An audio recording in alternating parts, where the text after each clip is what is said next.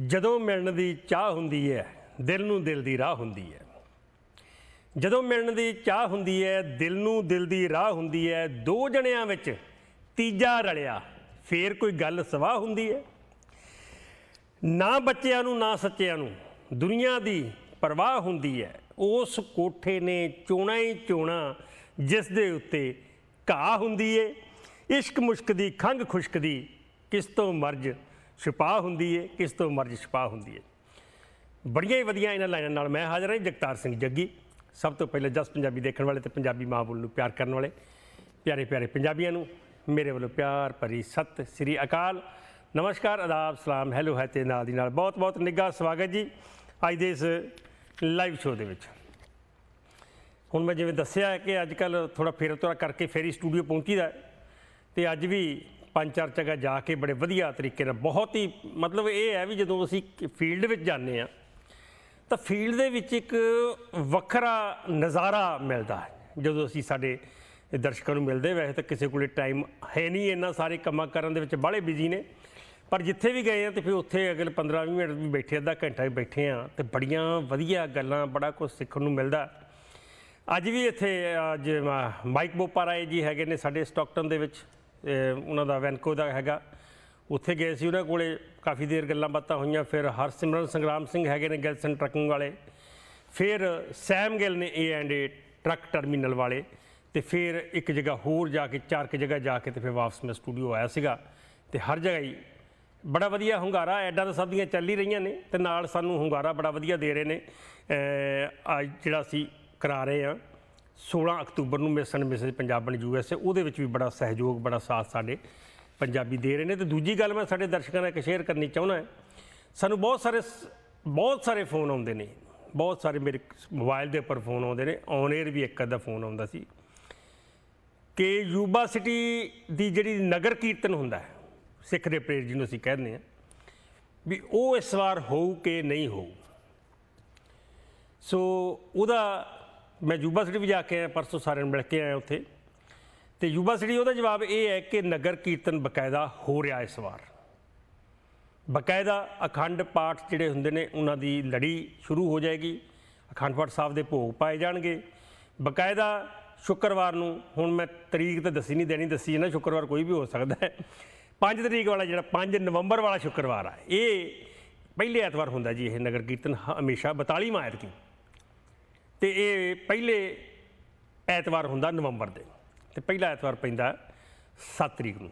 ਤੇ 5 ਨਵੰਬਰ ਨੂੰ ਫਿਰ ਉਹੀ ਆਤਿਸ਼ਬਾਜ਼ੀ ਵਗੈਰਾ 6 ਨਵੰਬਰ ਨੂੰ ਨਿਸ਼ਾਨ ਸਾਹਿਬ ਤੇ 7 ਨਵੰਬਰ ਨੂੰ ਉਹੀ ਪਹਿਲਾਂ ਵਾਂਗੂ ਲਗਾਤਾਰ ਲਾਈਵ ਅਸੀਂ ਜਿਹੜਾ ਤੁਹਾਨੂੰ ਦਿਖਾਈਦਾ ਤਿੰਨ ਦਿਨ, ਇਸ ਵਾਰ ਵੀ ਦਿਖਾਵਾਂਗੇ। ਉਮੀਦ ਹੈ ਕਾਫੀ ਵਧੀਆ ਸਾਡੇ ਦਰਸ਼ਕ ਪਸੰਦ ਕਰਦੇ ਨੇ। ਔਰ ਇਕੱਠ ਦੀ ਗੱਲ ਕਰੀਏ ਤਾਂ ਹਜੇ ਤੱਕ ਤਾਂ ਪਰਮਿਸ਼ਨ ਪੂਰੀ ਹੈ ਕੋਈ ਇਹੋ ਜੀ ਗੱਲ ਨਹੀਂ, ਉਹਨਾਂ ਨੂੰ ਦੱਸਿਆ ਹੋਇਆ ਉਹਨਾਂ ਨੇ ਕਾਉਂਟੀ ਨੂੰ ਦੱਸਿਆ ਹੋਇਆ ਵੀ ਇੰਨਾ ਕੁ ਇਕੱਠ ਹੁੰਦਾ ਸਾਡੇ।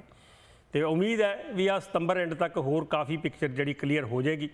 ਜਿਹੜੇ ਬਾਕੀ ਵੀ ਹੋਰ ਬੰਦਸ਼ਾਂ ਹੈਗੀਆਂ, ਬਹੁਤ ਸਾਰੀਆਂ, ਉਹ ਕਲੀਅਰ ਹੋ ਜਾਣਗੀਆਂ। ਵੈਸੇ ਡੈਲਟਾ ਦੀ ਗੱਲ ਜੇ ਕਰੀਏ ਤੇ ਹੁਣ ਇੰਡੀਆ ਤੋਂ ਅੱਜ ਖਬਰ ਆ ਰਹੀ ਸੀਗੇ। ਇਹ ਕਹਿੰਦੇ ਜੀ, ਜੇ ਤੁਹਾਡੀ ਇਮਿਊਨ ਸਿਸਟਮ ਠੀਕ ਵੀ ਹੈ ਤੇ ਉੱਤੇ ਵੀ ਵਾਰ ਕਰ ਦਿੰਦਾ। ਜੇ ਤੁਹਾਡੇ ਟੀਕੇ ਲੱਗੇ ਵੀ ਹੈ ਤੇ ਫਿਰ ਉੱਤੇ ਵੀ ਵਾਰ ਕਰ ਦਿੰਦਾ। ਹੁਣ ਇਹਦੀ ਗੱਲ ਮੈਨੂੰ ਸਮਝ ਨਹੀਂ ਆਈ ਵੀ ਇਹ ਹੈ ਆ ਕਿ ਹਜੇ ਕ੍ਰੀਏਟ ਕੀਤਾ ਵੀ ਲੋਕੀ ਲਵਾ ਲੈਣ। ਇੰਡੀਆ ਦੇ ਵਿੱਚ ਵੀ ਕਾਫੀ ਜ਼ੋਰਾਂ ਦੇ ਨਾਲ ਵੈਕਸੀਨ ਲੱਗ ਰਹੀ ਹੈ ਬਹੁਤ ਜ਼ੋਰ ਦੇ ਨਾਲ ਕਾਫੀ ਚੱਲ ਰਿਹਾ ਕੰਮ। ਤੇ ਪਰ ਫਿਰ ਵੀ ਹਜੇ ਇਹੀ ਹੈ ਵੀ ਧਿਆਨ ਰੱਖਣ ਦੀ ਲੋੜ ਹੈਗੀ ਆ। ਕੈਲੀਫੋਰਨੀਆ ਦੇ ਵਿੱਚ ਕਿਤੇ ਜਾਂਦੇ ਆ ਤੇ ਉੱਥੇ ਕਾਫੀ ਮਾਸਕ ਵਗੈਰਾ ਪਾਏ ਹੁੰਦੇ ਤਕਰੀਬਨ ਲੋਕਾਂ ਨੇ। ਔਰ ਉਹ ਚੰਗੀ ਗੱਲ ਹੈ ਕੋਈ ਮਾੜੀ ਗੱਲ ਨਹੀਂ ਹੈਗੀ। ਸੋ ਇਹ ਧਿਆਨ ਰੱਖਣ ਦੀ ਲੋੜ ਹੈ ਸਭ ਤੋਂ ਵੱਡੀ ਬੇਨਤੀ ਜਿਹੜੀ ਇਹੀ ਹੈ ਵੀ ਵੈਕਸੀਨ ਸਾਰੇ ਲਵਾਈਏ। ਔਰ ਵੈਕਸੀਨ ਲਵਾਉਣ ਤੋਂ ਬਾਅਦ ਰਿਸਕ ਜਿਹੜਾ ਹੈ ਰਿਸਕ ਸਿੱਧੇ ਸਿੱਧੇ ਲਫ਼ਜ਼ਾਂ 'ਚ ਕਹੀਏ ਵੀ ਧੁਰ ਦੀ ਟਿਕਟ ਕੱਟਣ ਦਾ ਰਿਸਕ ਜਿਹੜਾ ਉਹ ਬਹੁਤ ਘਟ ਜਾਂਦਾ ਹੈ। ਉਹ ਕੋਈ ਇੱਕ ਅੱਧਾ ਪਰਸੈਂਟ ਜਿਹੜਾ 1-2% ਹੈਗੇ ਨੇ, ਉਹਨਾਂ ਨੂੰ ਫਿਰ ਉਹ ਜ਼ਿਆਦਾ ਅਫੈਕਟ ਕਰਦਾ। ਤੇ ਜਿਹਦੇ ਟੀਕੇ ਲੱਗੇ ਹੋਏ ਆ, ਤੀਜਾ ਵੀ ਹੁਣ ਤਾਂ ਸ਼ੁਰੂ ਹੋ ਗਿਆ, ਤੀਜਾ ਵੀ ਲਵਾ ਸਕਦੇ ਆ ਹੋਰ ਸਟਰੋਂਗ ਹੋਣ ਵਾਸਤੇ। ਤੇ ਜਿਹਦੇ ਲੱਗੇ ਹੋਏ ਆ ਤੇ ਉਹਦੇ ਆਉਂਦਾ ਜ਼ਰੂਰ ਆ, ਇਹ ਨਹੀਂ ਕਿ ਉਹਨੂੰ ਆਉਂਦਾ ਨਹੀਂ ਕਰੋਨਾ, ਉਹਨੂੰ ਆਉਂਦਾ ਉਹਦੇ ਕੋਲੇ ਜ਼ੁਕਾਮ ਜ਼ੁਕੂਮ ਹੁੰਦਾ ਉਹਨੂੰ ਵੀ ਉਹਨੂੰ ਵੀ ਉਹ ਲੱਛਣ ਹੁੰਦੇ ਨੇ, ਪਰ ਉਹਨੂੰ ਇਹ ਨੌਬਤ ਨਹੀਂ ਆਉਂਦੀ ਕਿ ਉਹ ਉਹ ਡੈਥ ਦੇ ਕਿਨਾਰੇ ਚੱਲ ਜੂਗਾ ਜਾਂ ਉਹ ਬਹੁਤ ਜ਼ਿਆਦਾ ਬਿਮਾਰ ਹੋ ਜੂਗਾ ਸੋ ਭਾਈ ਵੈਕਸੀਨ ਲਵਾਓ ਤੇ ਮਜ਼ੇ ਉਡਾਓ ਤੇ ਕੁੱਟ ਕੁੱਟ ਕੇ ਜਫੀਆਂ ਪਾਓ। ਤਾਂ ਕੰਮ ਸੂਤ ਆਉਣਾ ਸਾਡਾ ਜਿਹੜਾ ਜਿਵੇਂ ਹੁੰਦਾ ਪੰਜਾਬੀਆਂ ਦਾ ਪਹਿਲਾਂ। ਹੁਣ ਅਸੀਂ ਅੱਜ ਦੇ ਪ੍ਰੋਗਰਾਮ ਦੀ ਗੱਲ ਕਰ ਲਈਏ ਤੇ ਵਿਸ਼ਾ ਅਹ ਲੈਣ ਤੋਂ ਪਹਿਲਾਂ ਦੋ ਚਾਰ ਸਵਾਲ ਜੇ ਹੁੰਦੇ ਉਹ ਆਪਾਂ ਤੁਹਾਨੂੰ ਸਾਂਝੇ ਕਰੀਦੇ ਆ। ਸ਼ੁਗਲ ਮੇਲੇ ਤੌਰ ਤੇ ਤੇ ਉਹਨੂੰ ਪਹਿਲਾਂ ਆਪਾਂ ਸ਼ੁਰੂ ਕਰ ਲੈਂਦੇ ਹਾਂ ਪਹਿਲਾ ਸਵਾਲ ਹੈ ਲਖਵੀਰ ਕੌਰ ਹੈ ਜੀ ਲਖਵੀਰ ਕੌਰ ਸੈਂਟਾ ਕਲਾਰਾ ਤੋਂ ਲਖਵੀਰ ਕੌਰ ਜੀ ਇਹ ਸਾਡੇ ਪਿੰਡਾਂ ਵੱਲੋਂ ਹੀ ਨੇ ਵੈਸੇ ਤੇ ਇਹਨਾਂ ਨੇ ਪੁੱਛਿਆ ਵੀ ਇਹ ਵੀ ਕੈਪਟਨ ਨੇ ਤਗਮਾ ਜਿੱਤ ਗਏ ਖਿਡਾਰੀ ਨੂੰ 올림픽 ਦੇ ਵਿੱਚੋਂ ਕਹਿੰਦੇ ਆ ਵੀ ਹੱਥੀ ਰੋਟੀ ਬਣਾ ਕੇ ਖਵਾਈ ਹੱਥੀ ਖਾਣਾ ਬਣਾ ਕੇ ਖਵਾਇਆ ਕੀ ਉਹਨਾਂ ਨੇ ਸੱਚੀ ਖਾਣਾ ਬਣਾਇਆ ਤੇ ਜੇ ਸੱਚੀ ਬਣਾਇਆ ਤੇ ਕਿਸੇ ਖਿਡਾਰੀ ਨੂੰ ਇਹ ਪੁੱਛ ਕੇ ਦੇਖਿਓ ਵੀ ਖਾਣਾ ਸਵਾਦ ਵੀ ਸੀ ਕਿ ਨਹੀਂ ਸਵਾਦ ਸੀ। ਦੇਖੋ ਇਹ ਸੱਚੀ ਵਾਲੀ ਗੱਲ ਜਿਹੜੀ ਆ, ਉਹ ਜਿਹੜੀ ਵੀਡੀਓ ਉਹਨਾਂ ਨੇ ਭੇਜੀ ਆ, ਵੀਡੀਓ ਬਣਾਈ ਆ ਉਹ ਤਾਂ ਵਰਤਾਉਂਦਿਆਂ ਦੀ ਬਣਾਈ ਆ ਬਣਾਉਂਦਿਆਂ ਦੀ ਨਹੀਂ ਬਣਾਈ ਕੋਈ ਵੀ। ਵਰਤਾਉਂਦਿਆਂ ਦੀ ਬਣਾਈ ਹੈ ਜੇ ਕੜਛੀ ਕੁੜਛੀ ਮਾਰਦੇ ਦਿਖਾ ਵੀ ਦਿੱਤੇ ਹੋਣਗੇ ਕਿਤੇ ਕੋਈ ਵੱਡੀ ਗੱਲ ਨਹੀਂ ਹੈਗੀ, ਪਰ ਉਹਨਾਂ ਨੂੰ ਮੇਰੇ ਖਿਆਲ ਖਾਣਾ ਬਣਾਉਣ ਦੀ ਐਡੀ ਕਿਹੜੀ ਲੋੜ ਆ? ਕਹਿੰਦੇ ਤੇ ਇਹ ਆ ਵੀ ਮੈਂ ਤੇ ਮੇਰੇ ਭਰਾ ਨੇ ਬਣਾਇਆ। ਚਲੋ ਬਣਾਇਆ ਹੋਵੇ ਤਾਂ ਚੰਗੀ ਗੱਲ ਆ, ਇੱਕ ਸਨਮਾਨ ਹੈ ਖਿਡਾਰੀਆਂ ਦਾ। ਤੇ ਦੂਜੀ ਗੱਲ ਇਹ ਹੈ ਵੀ ਵਰਤਾਉਂਦੇ ਸੀਗੇ। ਤੇ ਵਿਰੋਧੀ ਧਿਰ ਜਿਹੜੀ ਆ ਉਹ ਕਹਿੰਦੀ ਵੀ ਭਾਈ ਸਾਨੂੰ ਜਿਹੜਾ ਮੁੱਖ ਮੰਤਰੀ ਚਾਹੀਦਾ ਉਹ ਕੰਮ ਕਰਨ ਵਾਲਾ ਚਾਹੀਦਾ, ਸਾਨੂੰ ਸ਼ੈਫ ਨਹੀਂ ਚਾਹੀਦਾ, ਤੰਦੂਰੀਆ ਨਹੀਂ ਚਾਹੀਦਾ ਕੋਈ। ਸੋ ਭਾਈ ਆਪਣਾ ਕੰਮ ਕਰ ਕਰੋ। ਖੈਰ, ਸਵਾਦ ਵਾਲੀ ਗੱਲ ਕਰੀਏ ਤਾਂ ਸਵਾਦ ਦਾ ਭਾਈ ਦੇਖੋ ਜੀ, ਭਾਵੇਂ ਨਾ ਵੀ ਸਵਾਦ ਹੋਵੇ ਤਾਂ ਕਿਹੜਾ ਉੱਥੇ ਕਹੂ? ਕੌਣ ਕਹੂ? ਰਾਣੀਏ ਅੱਗਾ ਟੱਕ ਬਿੱਲੀ ਦੇ ਗਲ ਟੱਲੀ ਕੌਣ ਬੰਨੂ? ਤੇ ਹੁਣ ਖਿਡਾਰੀਆਂ ਨੂੰ ਪੁੱਛ ਵੀ ਲਿਆ ਉਹਨਾਂ ਨੇ ਕਹਿੰਦਾ ਹਾਂਜੀ ਹਾਂਜੀ ਜੀ, ਵਾਹ ਜੀ ਵਾਹ ਕੀ ਬਾਤ ਆ ਜੀ। ਆ ਮੈਂ ਤਾਂ ਜ਼ਿੰਦਗੀ 'ਚ ਇਹੋ ਜਿਹਾ ਖਾਣਾ ਖਾਦਾ ਹੀ ਨਹੀਂ ਕਦੇ। ਤੇ ਇਹ ਤਾਂ ਜਿਵੇਂ ਨੇ ਜੀ ਖਾਣੇ ਦਾ ਦੇਖੋ ਸਵਾਦ ਖਾਣ ਵਾਲੇ ਦੱਸ ਸਕਦਾ ਪਰ ਕਿਹੋ ਜਿਹਾ ਬਣਿਆ ਹੋਵੇਗਾ ਪਰ ਪਤੀਲੇ ਜ਼ਰੂਰ ਤੁਸੀਂ ਦੇਖੇ ਹੋਣੇ ਫੋਟੋਆਂ ਦੇ ਵਿੱਚ ਵੀਡੀਓ ਦੇ ਵਿੱਚ। ਇਹ ਤਾਂ ਜਿਵੇਂ ਕੋਈ ਘਰ ਵਾਲਾ ਘਰੇ ਆ ਨਾ ਜੀ, ਉਹ ਹਾਲ ਹੈ, ਹੁਣ ਖਿਡਾਰੀਆਂ ਦਾ ਤਾਂ ਉਹ ਹਾਲ ਹੋਏਗਾ, ਜਿੰਨੇ ਵੀ ਉੱਥੇ ਖਾਣਾ ਖਾਣ ਵਾਲੇ ਸੀਗੇ, ਜੇ ਕੈਪਟਨ ਸਾਹਿਬ ਨੇ ਬਣਾਇਆ। ਹੁਣ ਪਰੌਣੇ ਘਰੇ ਆਏ ਹੁਣ, ਪਰੌਣੇ ਬੈਠੇ ਹੋਣ ਰੋਟੀ ਰੋਟੀ ਖਾ ਰਹੇ ਹੋਣ, ਤੇ ਘਰ ਵਾਲੀ ਜਿਹੜੀ ਹੈ ਬੰਦੇ ਦੇ ਘਰ, ਉਸ ਘਰ ਦੇ ਮਾਲਕਣ ਜਿਹੜੀ ਹੈ, ਉਹ ਰੋਟੀ ਰੋਟੀ ਵਰਤਾ ਰਹੀ ਹੋਵੇ ਤੇ ਘਰ ਵਾਲਾ ਉਹਦਾ ਪਰੌਣਿਆਂ ਦੇ ਨਾਲ ਬੈਠਾ ਰੋਟੀ ਖਾ ਰਿਹਾ ਹੋਵੇ। ਤੇ ਘਰ ਵਾਲੀ ਆਪਣੇ ਘਰ ਵਾਲੀ ਨੂੰ ਪੁੱਛੇ ਜੀ ਹਾਂਜੀ ਇਸ ਸਬਜ਼ੀ 'ਚ ਲੂਣ ਠੀਕ ਹੈ? ਹੁਣ ਘਰ ਵਾਲਾ ਜੇ ਤਾਂ ਇਹ ਕਹਿੰਦਾ ਵੀ ਲੂਣ ਠੀਕ ਨਹੀਂ ਹੈ, ਲੂਣ ਬਹੁਤ ਜ਼ਿਆਦਾ ਜਾਂ ਲੂਣ ਬਹੁਤ ਘੱਟ ਹੈ ਤਾਂ ਪੰਗਾ ਪੈਣ ਵਾਲੀ ਗੱਲ ਹੈ। ਤੇ ਉਹਦਾ ਸਿੱਧਾ ਜਿਹਾ ਜਵਾਬ ਫਿਰ ਇਹ ਹੁੰਦਾ ਘਰ ਵਾਲੇ ਦਾ ਮੈਨੂੰ ਤਾਂ ਠੀਕ ਆ ਜੀ ਪਰੌਣਿਆਂ ਨੂੰ ਪੁੱਛ ਲਓ। ਸੋ ਭਾਈ ਖਿਡਾਰੀਆਂ ਨੇ ਤਾਂ ਇਹੀ ਕਹਿਣਾ ਵੀ ਸਾਨੂੰ ਲੂਣ ਠੀਕ ਹੈ, ਬਾਕੀ ਕਿਸੇ ਹੋਰ ਨੂੰ ਪੁੱਛ ਲਓ ਜੇ ਵੱਧ ਘੱਟ ਕਿਸੇ ਨੂੰ ਲੱਗਦਾ ਸੋ ਇਹ ਇੱਕ ਵੱਖਰਾ ਜਿਹਾ ਕੜਛੀ ਜਿਹੜੀ ਹੈ, ਕੜਛੀ ਕਮਾਈ ਵਾਵਾ ਉਹਨਾਂ ਨੇ ਸੀਐਮ ਸਾਹਿਬ ਨੇ ਪਾ ਕੇ ਦਿੰਦੇ ਸੀ ਖਾਣਾ ਔਰ ਕਈ ਖਿਡਾਰੀ ਦੇ ਵਿਚਾਰੇ ਡਰਦੇ ਡਰਦੇ ਹੀ ਖਾਈ ਗਏ। ਹੁਣ ਨਾ ਵੀ ਸਵਾਦ ਹੋਵੇ ਤਾਂ ਇੱਕ ਦੂਜੇ ਬੁਰਕੀਆਂ ਤੁੰਨੀ ਗਏ। ਹੁਣ ਵੀ ਯਾਰ ਇੱਥੋਂ ਇੱਕ ਵਾਰੀ ਨਿਕਲੀਏ, ਬਾਅਦ ਦੇ ਵਿੱਚ ਔਖੇ ਸੌਖੇ ਹੋ ਲਾਂਗੇ। ਹੁਣ ਜਿੰਨਾ ਪਾਤਾ, ਇੰਨਾ ਖਾਣਾ ਹੀ ਪੈਣਾ, ਨਾ ਵਿੱਚ ਛੱਡਣ ਜੋਗੇ। ਪਾਉਂਦਾ ਹੀ ਵਾਵਾ ਵੱਡੀ ਕੜਛੀ ਸੀ ਉਹਨਾਂ ਦੇ ਹੱਥ ਦੇ ਵਿੱਚ। ਚਲੋ ਖੈਰ ਸ਼ੁਗਲ ਮੇਲੇ ਦੀਆਂ ਗੱਲਾਂ ਜੀ, ਕੈਪਟਨ ਦੀ ਕੜਛੀ ਬਹੁਤ ਮਸ਼ਹੂਰ ਹੋ ਗਈ ਹੈ ਇਹ, ਹੁਣ ਉਹ, ਉਹ- ਜਿਹੜੇ ਪਤੀਲੇ ਨੇ, ਮੈਨੂੰ ਜਿਹੜੀ ਕੜਛੀ ਨੂੰ ਹੱਥ ਲੱਗਿਆ, ਉਹ ਨਿਲਾਮੀ ਹੋਊਗੀ ਵੱਡੇ ਵੱਡੇ। ਹੋਟਲਾਂ ਦੇ ਵਿੱਚ ਉਹ ਵੇਚ ਦੇਣਗੇ, ਵੱਡੇ ਵੱਡੇ ਪਤੀਲੇ ਦੱਸ ਦੇਣਗੇ, ਉੱਪਰ ਲਿਖ ਦੇਣਗੇ ਵੀ ਭਾਈ ਕੈਪਟਨ ਦੇ ਹੱਥਾਂ ਦੇ ਪਤੀਲੇ ਨੇ। ਇਹ ਮੁੱਖ ਮੰਤਰੀ ਰੋਟੀ ਬਣਾਈ ਹੋਈ ਹੈ ਇਹਨਾਂ 'ਚ। ਚਲੋ ਅਗਲਾ ਹੈਗਾ ਜੀ ਜਰਨੈਲ ਸਿੰਘ ਜੀ ਇਹ ਲੋਢਾਈ ਤੋਂ। ਇਹ ਸਵਾਲ ਇਹ ਵੀ ਬਹੁਤ ਵਧੀਆ ਹੈ। ਇਹਦਾ ਜਵਾਬ ਵੈਸੇ ਮੇਰੇ ਕੋ ਹੈ ਨਹੀਂ। ਪਰ ਮੈਂ ਆਪਣੇ ਤੌਰ ਤੇ ਜਿੱਦਾਂ ਦਾ ਜਵਾਬ ਹੈਗਾ ਉਦਾਂ ਦਾ ਦੇ ਦਿੰਦਾ।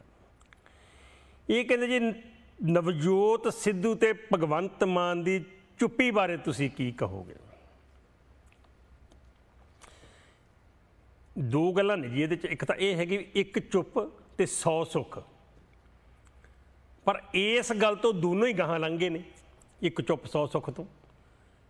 ਹਾਲਾਂਕਿ ਨਵਜੋਤ ਸਿੱਧੂ ਦੀ ਸਿੱਧੀ ਸਿੱਧੀ ਗੱਲ ਕਰੀਏ, ਉਹਨੇ ਤਾਂ ਮਤਲਬ ਚੁੱਪ ਚੁੱਪ ਕੀ ਉਹਨੇ ਤਾਂ ਬਖੀਏ ਉਹਦੇ ਢੇੜ ਤੇ ਹੁਣ ਤਾਂ ਇੱਟਾਂ ਹੱਥ ਚੱਕੀ ਫਿਰਦਾ ਸੀ, ਮੈਂ ਮੇਰੀ ਗੱਲ ਨਹੀਂ ਮੰਨੀ ਤੇ ਮੈਂ ਇੰਟਰਨੈਟ ਖੜਕਾ ਦੇਣੀ ਹੈ।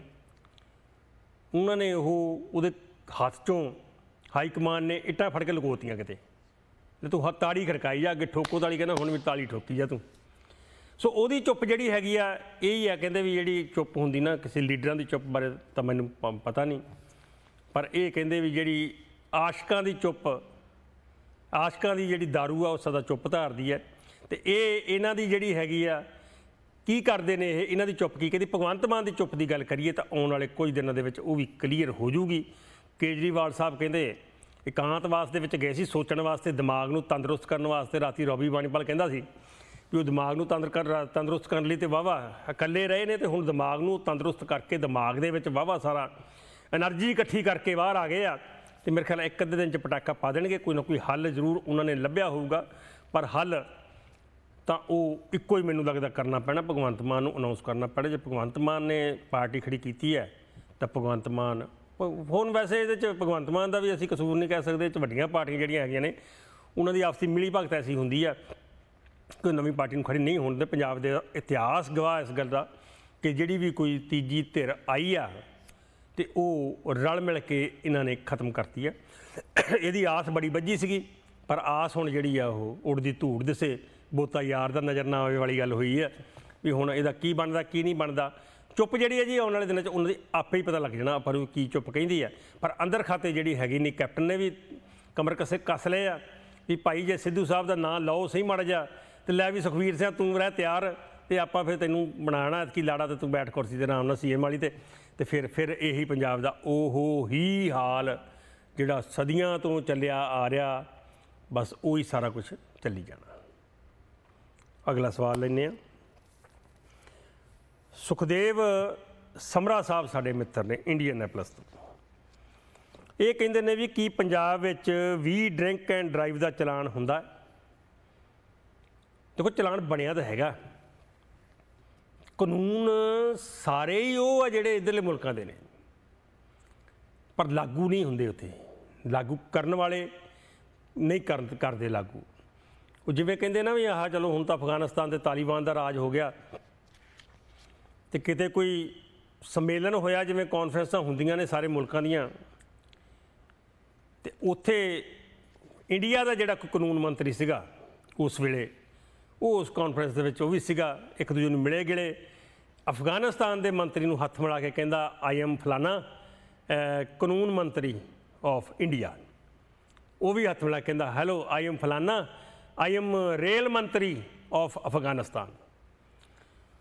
ਉਹ ਇੰਡੀਆ ਵਾਲਾ ਕਹਿੰਦਾ ਵੀ ਅਫਗਾਨਿਸਤਾਨ ਦੇ ਵਿੱਚ ਤਾਂ ਰੇਲ ਹੀ ਹੈ ਨਹੀਂ, ਤੂੰ ਮੰਤਰੀ ਕਿਵੇਂ ਬਣ ਗਿਆ? ਤੇ ਉਹ ਅਫਗਾਨਿਸਤਾਨ ਵਾਲਾ ਫਿਰ ਕਹਿੰਦਾ ਫਿਰ ਇੰਡੀਆ ਦੇ ਵਿੱਚ ਤਾਂ ਕਾਨੂੰਨ ਹੀ ਹੈ ਨਹੀਂ, ਤੂੰ ਕਾਨੂੰਨ ਮੰਤਰੀ ਕਾਹਦਾ ਬਣ ਗਿਆ ਬਈ? ਸੋ ਇਹ ਗੱਲ ਹੈਗੀ ਆ ਵੀ ਇਹ ਉੱਥੇ ਕਾਨੂੰਨ ਹੈਗੇ ਨੇ ਸਾਰੇ। ਪਰ ਲਾਗੂ ਨਹੀਂ ਹੁੰਦੇ, ਲਾਗੂ ਕਰਨ ਵਾਲੇ ਜਿਹੜੇ ਬੰਦੇ ਨੇ।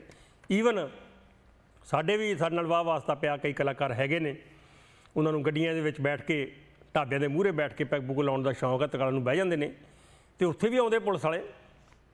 ਮੋਹਾਲੀ ਦੀ ਗੱਲ ਕਰ ਲਈਏ, ਮੋਹਾਲੀ ਪੜ੍ਹਿਆ ਲਿਖਿਆ ਸ਼ਹਿਰ ਹੈ ਉੱਥੇ ਵੀ ਪੁਲਿਸ ਵਾਲੇ ਆਉਂਦੇ ਨੇ, ਆ ਕੇ ਡੋਰ ਖੜਕਾਉਂਦੇ ਨੇ, ਡੋਰ ਮਾਰੋ, ਸ਼ੀਸ਼ਾ ਥੱਲੇ ਕਰੋ। ਦਾਰੂ ਪੀ ਜਾਂਦੇ ਪਬਲਿਕ ਪਲੇਸ ਤੇ। ਪਤਾ ਇਹਦਾ ਕਿੰਨਾ ਕੇਸ ਬਣਦਾ? ਕੀ ਚਲਾਨ ਹੈ? ਉਹ ਕਹਿੰਦੇ, ਹਾਂਜੀ ਹਾਂਜੀ।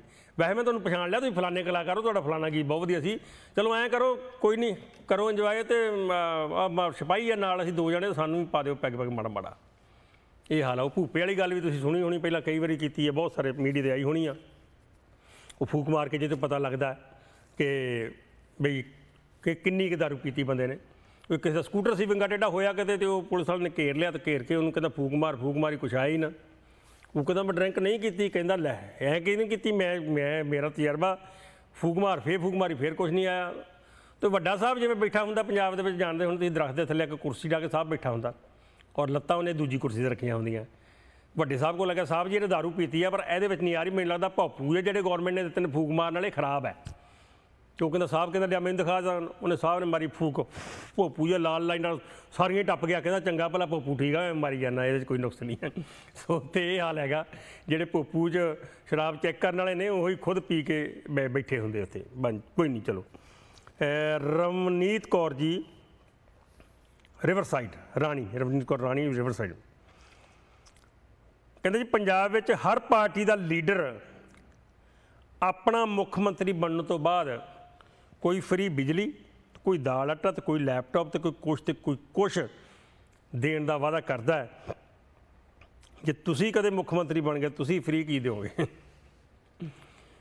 ਮੈਂ ਤਾਂ ਫ੍ਰੀ ਦੀ ਸਲਾਹ ਹੀ ਦੇਵਾਂ ਜੀ, ਹੋਰ ਤਾਂ ਕੁਝ ਨਹੀਂ ਦਿੰਦਾ। ਸਲਾਹ ਹੀ ਦਊਂਗਾ, ਇਹ ਜੇ ਮੈਂ ਇਹੋ ਜਿਹੇ ਨੂੰ ਵੋਟ ਨਾ ਪਾਓ ਬਸ ਇਹੀ ਸਲਾਹ ਦਊਂਗਾ ਫ੍ਰੀ ਦੀ। ਮੁੱਖ ਮੰਤਰੀ ਬਣਨ ਤੋਂ ਬਾਅਦ ਵੀ ਮੈਨੂੰ ਤੁਸੀਂ ਵੋਟ ਨਾ ਪਾਓ ਜੇ ਮੈਂ ਤੁਹਾਡਾ ਲੈਪਟਾਪ ਦਾ ਵਾਅਦਾ ਕਰਦਾ, ਜਾਂ ਮੈਂ ਤੁਹਾਡਾ ਦਾ ਬਿਜਲੀ ਦਾ ਵਾਅਦਾ ਕਰਦਾ, ਤੇ ਜਾਂ ਮੈਂ ਤੁਹਾਨੂੰ ਇਹ ਕਹਿੰਦਾ ਆਟ ਦਾਲ ਆਟਾ ਦੇਵਾਂਗਾ ਤੇ ਜਾਂ ਮੈਂ ਤੁਹਾਨੂੰ ਇਹ ਵਾਅਦਾ ਕਰਦਾ, ਤੁਹਾਡੀ ਸਿਵਿਆਂ ਦੀ ਕੰਧ ਉੱਚੀ ਕਰਾ ਦੂੰਗਾ। ਸਿਵਿਆਂ 'ਚ ਫ੍ਰੀ ਵਾਈਫਾਈ ਲਵਾ ਦੂੰਗਾ। ਬਿਲਕੁਲ ਵੋਟ ਨਾ ਪਾਇਓ, ਇਹੀ ਸਲਾਹ ਦੇਵਾਂਗਾ ਮੈਂ, ਮੁੱਖ ਮੰਤਰੀ ਬਣਨ ਤੋਂ ਬਾਅਦ। ਸੋ ਇਹ ਇਹ ਇਹ ਵੈਸੇ ਕਈ ਗੱਲਾਂ ਸਾਰੀਆਂ ਹਾਸੋ ਹੋਣੀਆਂ, ਕੇਜਰੀਵਾਲ ਤੋਂ ਥੋੜੀ ਉਮੀਦ ਸੀ, ਤੇ ਉਹ ਵੀ 300 ਬਿਜਲੀ ਡਿਕਲੇਅਰ ਕਰਕੇ ਯੂਨਿਟ ਫ੍ਰੀ ਸੋਚਣ ਵਾਲੀ ਗੱਲ ਇਹ ਹੈ, ਇਹ ਤਾਂ ਤੁਸੀਂ ਕਰੀ ਜਾਂਦੇ ਹੋ ਫ੍ਰੀ ਦੀ ਗੱਲ ਛੱਡੋ, ਮੁੱਲ ਦੀ ਬਿਜਲੀ ਵੀ ਤੁਸੀਂ ਦੇਣੀ ਹੋਵੇ, ਉਹ ਨਹੀਂ ਦੇ ਪਾਉਂਦੇ। ਦਿਓਗੇ ਕਿੱਥੋਂ?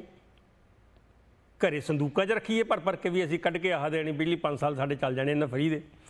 ਬਿਲਕੁਲ ਹੀ ਇਹ, ਬਿਲਕੁਲ ਹੀ ਅਜੀਬੋ-ਗਰੀਬ ਗੱਲਾਂ ਲੀਡਰਾਂ ਦੀਆਂ, ਜਿਨ੍ਹਾਂ ਤੇ ਮੈਂ ਤਾਂ ਵਿਸ਼ਵਾਸ ਬੂਸ ਬਿਲਕੁਲ ਨਹੀਂ ਕਰਦਾ, ਨਾ ਮੈਨੂੰ ਇਹੋ ਜਿਹਾ ਬੰਦਾ ਚੰਗਾ ਲੱਗਦਾ।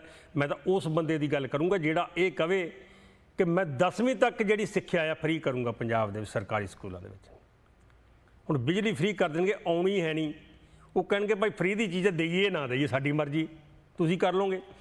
ਜਿਹੜਾ ਬੰਦਾ ਇਹ ਕਵੇ ਜੀ, ਅਸੀਂ ਸਰਕਾਰੀ ਹਸਪਤਾਲਾਂ 'ਚ ਇਲਾਜ ਫ੍ਰੀ ਕਰਾਂਗੇ।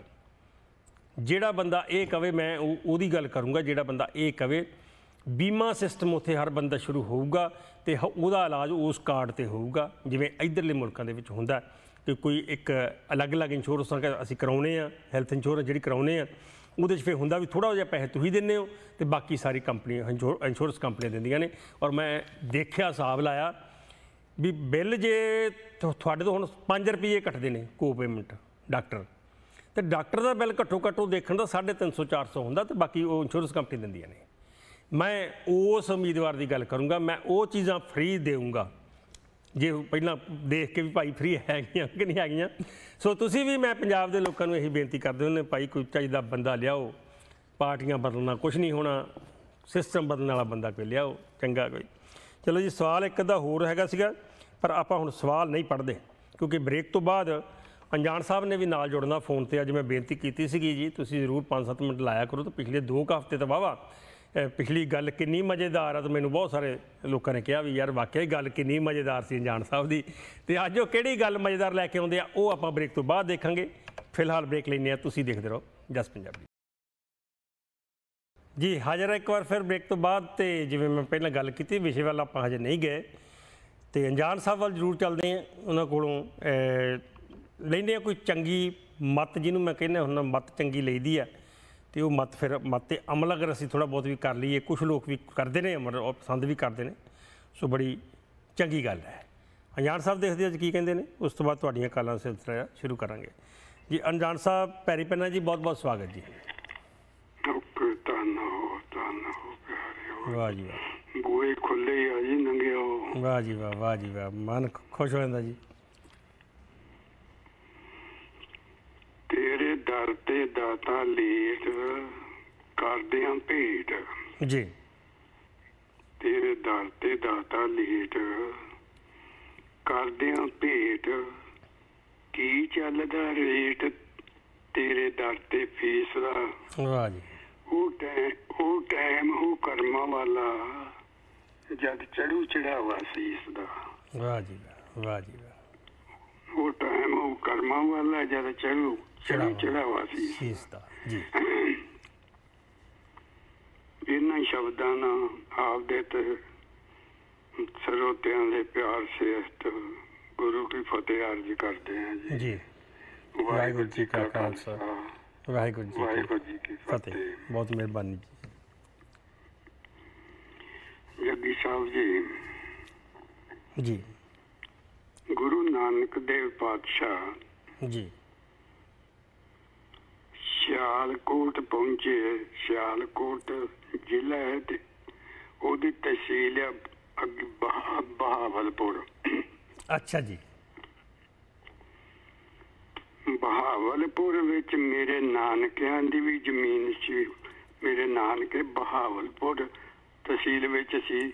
ਅੱਛਾ ਜੀ। ਤੇ ਸਾਡੇ ਪਿਤਾ ਜੀ ਨੇ ਵੀ ਉੱਥੇ ਦੋ ਮਰਬੇ ਜ਼ਮੀਨ ਦੇ ਲਏ ਸੀ ਉਹਨਾਂ ਕੋਲ। ਵਾਹ ਜੀ ਵਾਹ। ਤੇ ਜੇ ਮੈਂ ਇਹ ਕਹਿ ਲਵਾਂ ਤੇ ਮੇਰਾ ਤਾਂ ਨਾਨਕਾ ਸਥਾਨ ਹੈ ਜੀ ਬਿਲਕੁਲ। ਤੇ ਉੱਥੇ ਗੁਰੂ ਨਾਨਕ ਸਾਹਿਬ ਜੀ ਹਰਮਣੀਕ ਥਾਂ ਤੇ ਦੇਖ ਕੇ ਸੁਬਹ ਉੱਠੇ ਇਸ਼ਨਾਨ ਕਰਕੇ ਜੀ।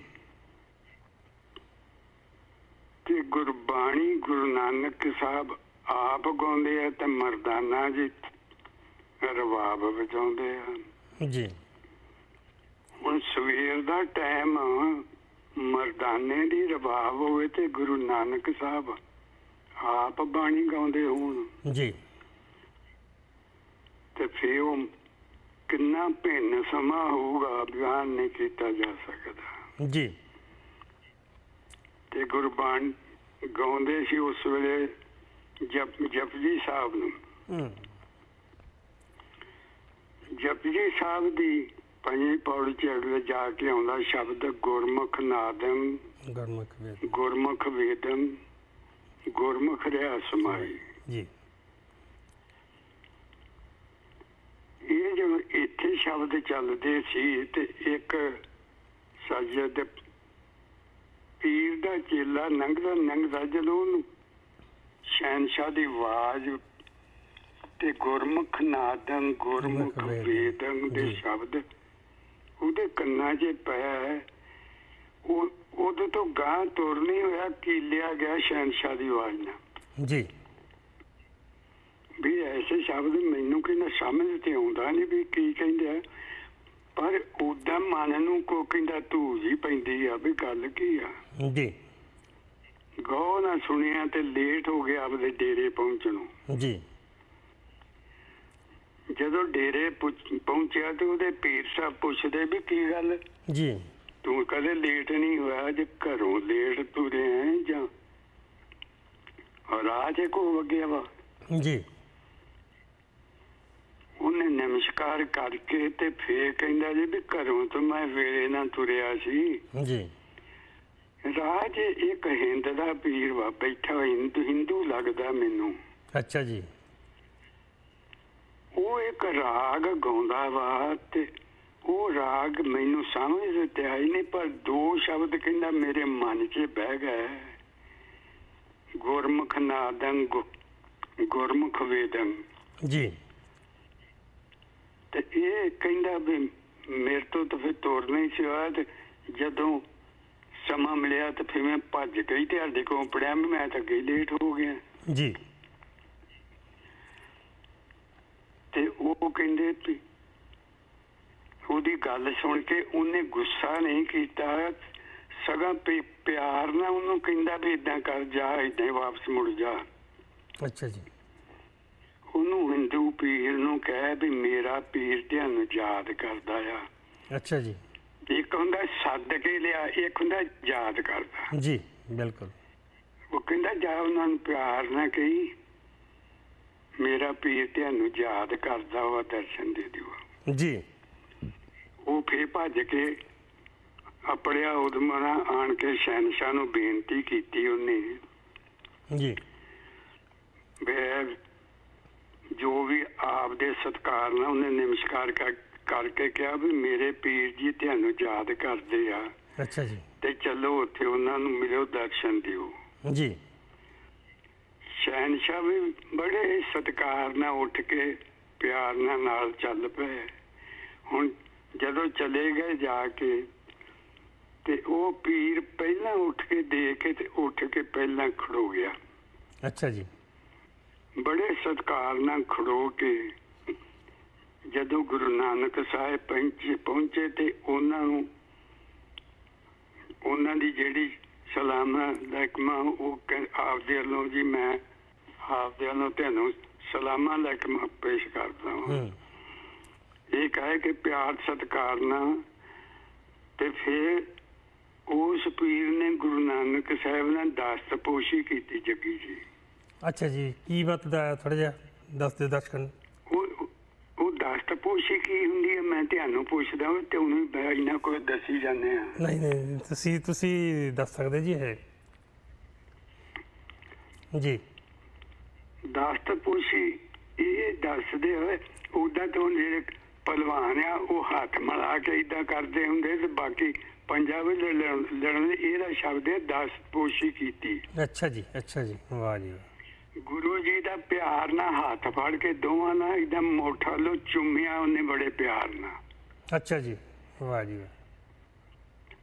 ਚੁੰਮ ਕੇ ਤੇ ਫਿਰ ਨਮਸਕਾਰ ਕਰਕੇ ਤੇ ਬੈਠ ਗਿਆ। ਜੀ।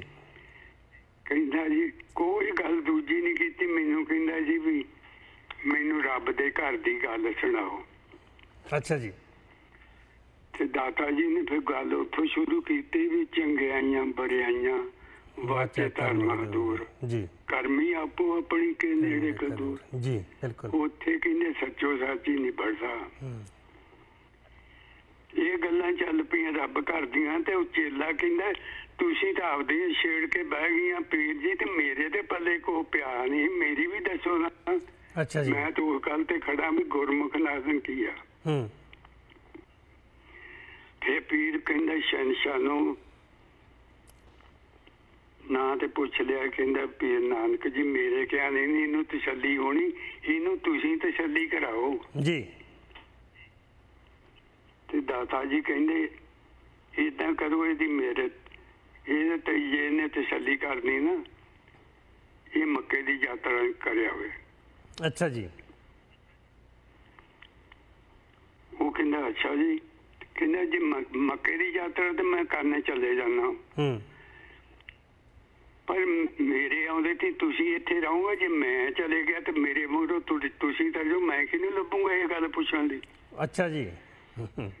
ਦਾਦਾ ਜੀ ਸਮਰੱਥ ਰਾਜੇ ਕਹਿੰਦੇ ਕਹਿੰਦੇ ਬਿਲਕੁਲ ਨਹੀਂ ਜਾਂਦੇ ਜਦੋਂ ਆਏਗਾ ਉਦੋਂ ਜਾਵਾਂਗੇ। ਜੀ।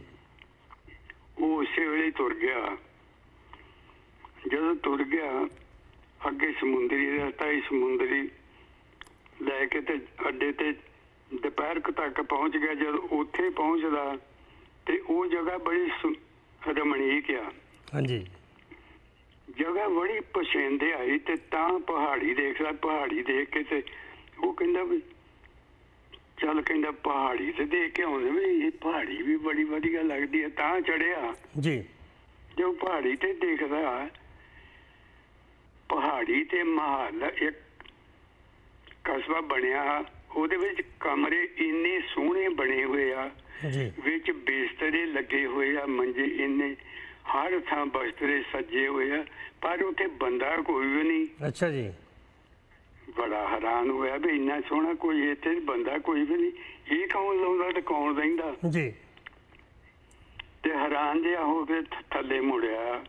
ਜਦ ਥੱਲੇ ਆਉਂਦਾ ਤੇ ਸਮੁੰਦਰ 'ਚ ਇੱਕ ਜਹਾਜ਼ ਆਉਂਦਾ ਸੀਗਾ ਤੇ ਉਹ ਡੁੱਬਦਾ ਸੀ ਡੁੱਬਦਾ ਉਹਦਾ ਚੀਕ ਝਾੜਾ ਪੈਣ ਲੱਗ ਗਿਆ। ਅੱਛਾ ਜੀ। ਬਈ ਮਰ ਗਿਆ ਮਤਲਬ ਲੁੱਟ ਗਿਆ ਵੀ ਮਰ ਗਿਆ ਤੇ ਉਹ ਜਿੱਦਾਂ ਜਿਹੜਾ ਡੁੱਬਦਾ ਉਹਨੇ ਤੇ ਰੌਲਾ ਪਾਉਣਾ ਹੀ ਆ। ਹਾਂਜੀ ਬਿਲਕੁਲ। ਉਹ ਜਦੋਂ ਚੀਕ ਝਾੜਾ ਪਿਆ ਤੇ ਇਹਨੇ ਹੈ ਬਰਕਤ ਵਾਲਾ ਸੀਗਾ ਇਹਨੇ ਦੁਆ ਕੀਤੀ ਇਸਲਾਮੀ ਤੇ ਉਹ ਬੇੜਾ ਡੁੱਬਣੋਂ ਬਚ ਗਿਆ। ਅੱਛਾ ਜੀ। ਇਹ ਖੁਸ਼ ਹੋ ਗਿਆ।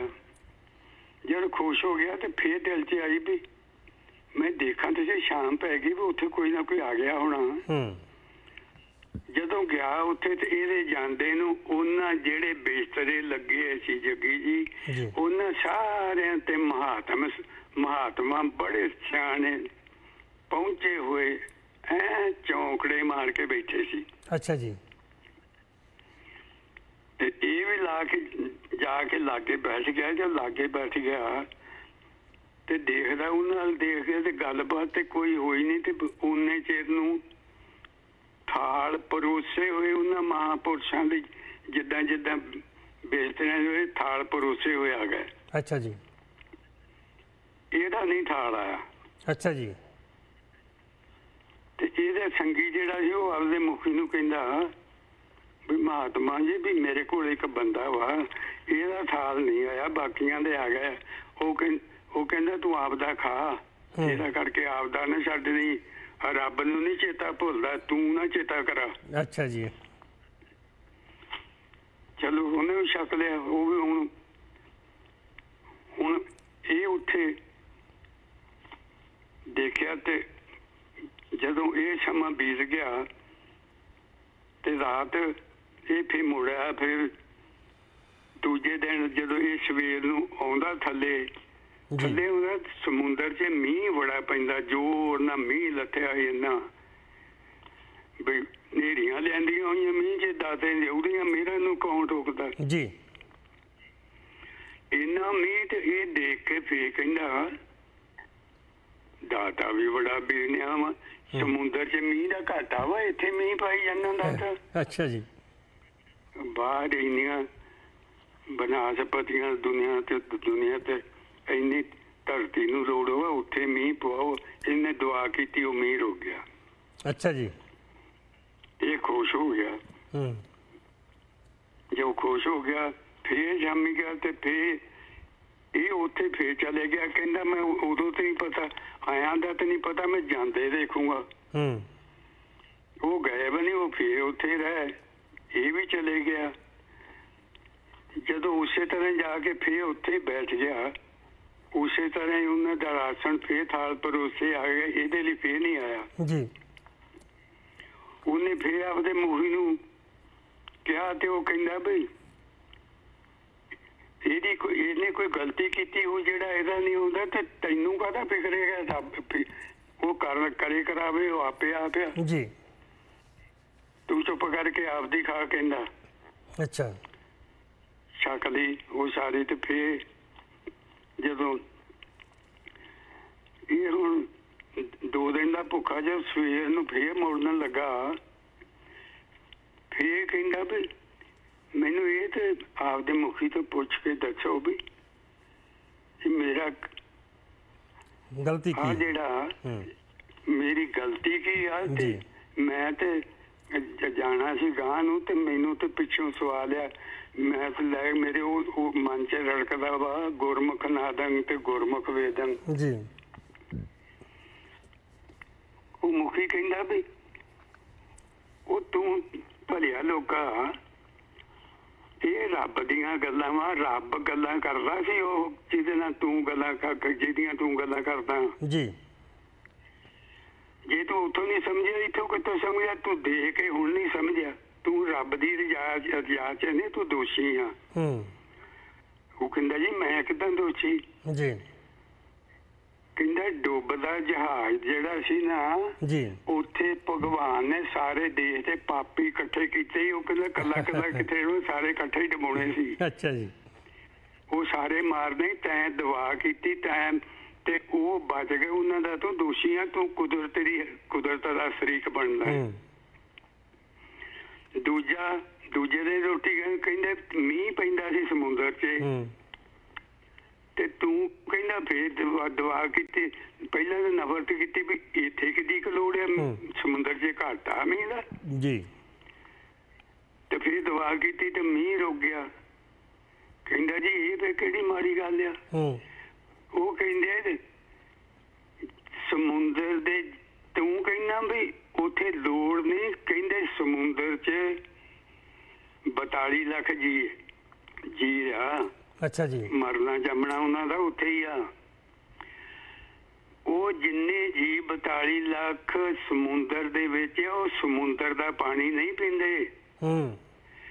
ਉਹ ਪਾਣੀ ਇਸ ਮੀਂਹ ਦਾ ਪੈਂਦੇ ਤਾਂ ਕੁਦਰਤ ਮੀਂਹ ਉੱਥੇ ਪਾਉਂਦੀ ਆ। ਵਾਹ ਜੀ ਵਾਹ। ਅੱਛਾ ਜੀ। ਤਾਂ ਇਹ ਵਗਿਆ ਕੀਤੀ ਕੁਦਰਤ ਦੀ ਤਾਂ ਦੋ ਵਾਰੀ ਟੋਕ ਕੀਤੀ ਆ। ਇਹ ਉਹ ਗੱਲ ਭਗਤ ਫਰੀਦ ਜੀ ਵਾਲੀ ਨਾ ਮਰ ਜਾ ਚਿੜੀਆ ਉੜ ਜਾ ਚਿੜੀਆ ਤੇ ਮਰ ਜਾ ਚਿੜੀਆ ਤੇ ਜੀਪੋ ਚਿੜੀਆ ਹਾਂਜੀ ਤੇ ਉਹਨੂੰ ਫਿਰ ਰੰਗ ਰੱਤੀ ਨੇ ਕਿਹਾ ਸੀ ਵੀ ਮੈਂ ਆਪਦੀ ਭੈਣ ਦੀ ਘਰ ਅੱਗ ਬੁਝਾਉਣੀ ਹੈ ਆਰਾਮ ਨਾਲ ਖੜੋ ਜਾ ਕੋਈ ਨਹੀਂ। ਤਾਂ ਫਰੀਦ ਜੀ ਕਹਿੰਦੇ ਵੀ ਮੈਂ ਇੰਨਾ ਚਿਰ ਤੇ ਬੀਬੀ ਨੂੰ ਕਿੱਦਾਂ ਪਤਾ ਲੱਗ ਗਿਆ ਵੀ? ਹੂੰ। ਤਾਂ ਫੇਰ ਹੁਣ ਉਹ ਫੇਰ ਉਹ ਕਹਿੰਦੇ ਵੀ ਤੈਨੂੰ ਗੁਰਮੁਖ ਨਾਦਮ ਗੁਰਮੁਖ ਵੇਦਮ ਨਾ ਕਹਿੰਦੇ ਉਹ ਜਿਹਦੇ ਨਾਲ ਤੂੰ ਕਰਕੇ ਆ ਤੇ ਉਹ ਕਹਿੰਦੇ ਤੂੰ ਹੁਣ ਜਾ ਕਹਿੰਦੇ ਗਾਂ ਫੇ ਮੱਕੇ ਜਾ ਚੱਲ ਜਾ। ਉਹ ਕਹਿੰਦੇ ਹੁਣ ਜਾਣ ਦੀ ਲੋੜ ਮੈਨੂੰ ਨਹੀਂ ਕਹਿੰਦਾ। ਮੈਨੂੰ ਹੁਣ ਸਭ ਕੁਝ ਪਤਾ ਲੱਗ ਗਿਆ ਇੱਥੋਂ ਹੀ। ਇਹੋ ਹੀ ਗੁਰਮੁਖ ਸੀ ਤੇ ਇਹੀ ਨਾਜ਼ੀਆਂ ਜਿਨ੍ਹਾਂ ਨੂੰ ਆਪੇ ਹੀ ਰਾਸਣ ਆਉਂਦਾ ਵਾ। ਹੂੰ। ਤੇ ਆਪੇ ਹੀ ਲੱਗਦੇ ਆ ਕੋਈ ਕਰਦਾ ਨਹੀਂ ਕਹਿੰਦਾ ਇਹ ਇਹ ਹੀ ਗੁਰਮੁਖ ਹੈ ਤੇ ਇਹੀ ਨਾਜ਼ੀਆਂ ਜੀ। ਤੇ ਇਸ ਕਰਕੇ ਮੈਂ ਭੁੱਲ ਕੀਤੀ ਆ ਹੁਣ ਉਹ ਕਹਿੰਦੇ ਵੀ ਉਹ ਕਹਿੰਦੇ ਵੀ ਉਹੋ ਹੀ ਪੂਰਨ ਆ। ਉੱਥੇ ਹੀ ਜਾ ਕੇ ਪੁੱਛ ਲਾ ਉਹਨਾਂ ਤੋਂ ਭੁੱਲ ਭੁੱਲ ਜਾ ਕੇ ਉੱਥੇ ਭੁੱਲ ਬਖਸ਼ਾਈ। ਜੀ। ਵੀ ਗੁਰਮੁਖ ਨਾਦਮ ਗੁਰਮੁਖ ਵੇਦਨ ਦਾ ਜਿਹੜਾ ਸ਼ਬਦ ਸੀਗਾ ਉਹ ਮੈਨੂੰ ਹੁਣ ਉੱਥੇ ਸਮਝ ਆ ਗਿਆ। ਉਹਨਾਂ ਮਹਾਪੁਰਸ਼ਾਂ ਨੇ ਸਮਝਾਤਾ ਵੀ ਮੈਂ ਤੇ ਦੋਸ਼ੀ ਹਾਂ। ਕਹਿੰਦਾ ਮੈਂ ਆਪਣੇ ਆਪ ਨੂੰ ਸਮਝਦਾ ਤੇ ਅਸੀਂ ਕਿਸੇ ਦਾ ਹੱਕ ਮਾਰ ਕੇ ਕਹਿੰਦੇ ਆ ਵੀ ਅਸੀਂ ਬਹੁਤ ਫਲਾਣੇ ਦਾ ਚੰਗਾ ਕਰਤਾ ਜਿਹਦਾ ਕੁੰਡਾ ਕਰਤਾ ਉਹ। ਹੂੰ। ਠੀਕ ਹੈ ਜੀ।